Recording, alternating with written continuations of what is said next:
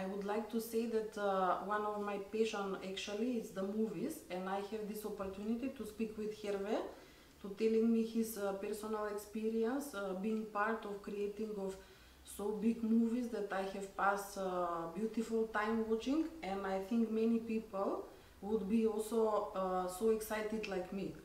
Uh, and telling me about um previously about his nomination for César, the French version of Oscars. Now suddenly he tell me also about um this object. He like to keep some souvenirs from uh, the movies he have uh, uh, worked in. He was uh, participating in creating the movie with uh, Salma and uh, with Penelope Cruz on a movie uh, Bandidas. Bandidas. And he was several months in Mexico uh, for this uh, uh, project. How did you uh, saw maybe uh, Salma or uh, Penelope on the stage or uh, on the set? C'était une super, une super aventure. Yes. Ah, mais oui, c'était, c'était à l'époque, enfin ça a plus de 10 ans, c'était en 2004. C'était des actrices qui étaient au top.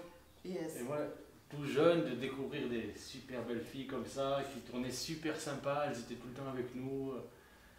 Vraiment Yes. pas des stars comme on peut voir maintenant qui, sont, euh, Yes. qui battent tout le monde. Là, vraiment, on a passé des, des super moments. On était tous ensemble en plus au Mexique. Pas évident, il faisait une chaleur terrible. On était dans le désert. On a tourné chez John Wayne, Mhm. enfin sur les terrains de John Wayne où il avait fait euh, à l'époque le train sifflera trois fois. Il y a encore la gare qui est en place. On a, on a vraiment passé des moments extraordinaires. Uh, is it real?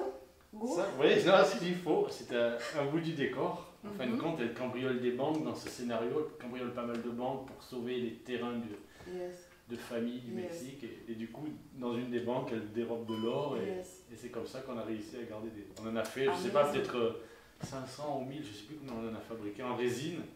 Wow.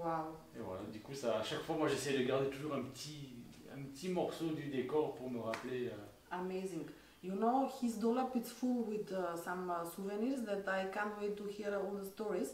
But I must say, for this movie, for example, Salma and uh, Penelope, they are great, and uh, they are uh, in this movie. They they inspire me with their uh, free spirit and and uh, how they are feminine power, with their intelligence, beauty, but also inner beauty.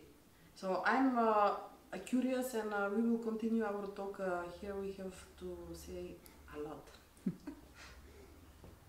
Bye.